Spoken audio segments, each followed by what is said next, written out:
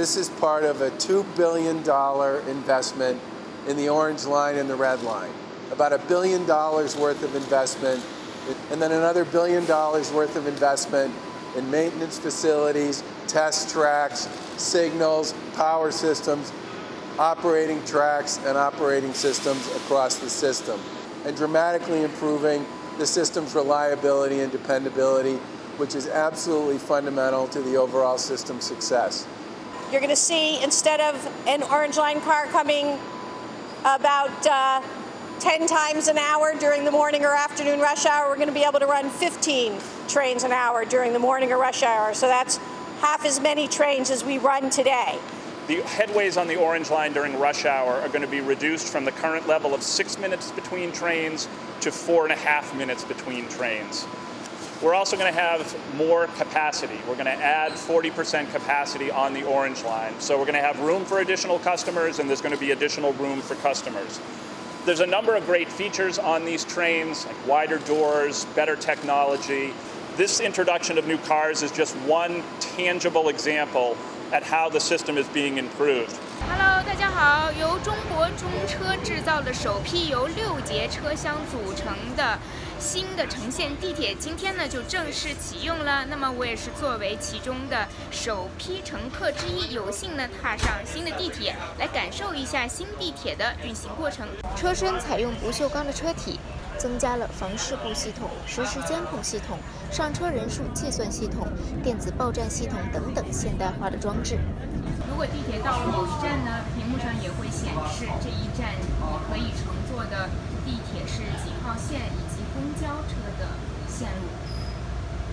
现在呢，我就是坐在了这个地铁呈现的座位上。那么新的地铁呈现的座位呢，与之前不同的地方呢，是它采用了完全是塑料的座椅，而不是像之前呢会在座椅上放一些地毯。其实这样我反而觉得会更加的干净整洁一些。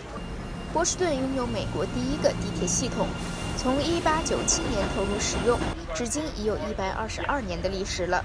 2014年和2016年，马州海湾交通厅与中国中车集团共签订了152辆城线地铁车厢和372辆红线地铁车厢的订单，而目前使用的城线地铁也有四十多年了。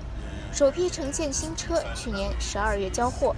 今天投入服务的六辆新车厢已累计测试了三千八百英里。通过七十五种不同的测试。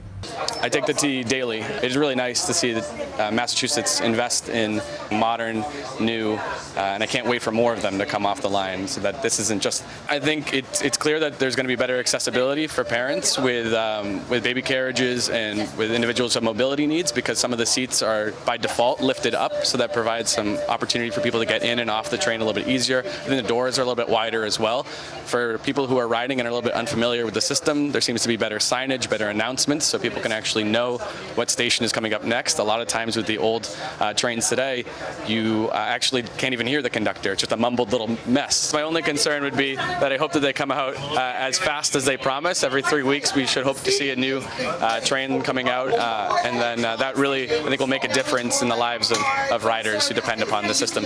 我下车了， 接下来新城线地铁也将陆续投入使用，服务年限有三十年。由于麻州的地铁系统过于老化，地铁脱轨啊、下雨天被淹啊、信号问题导致的延误啊等等经常发生。希望新的地铁不仅仅是在舒适和便捷上有大的提高，更重要的是在提高运载效率和安全稳定性上，真正的能够方便民众出行。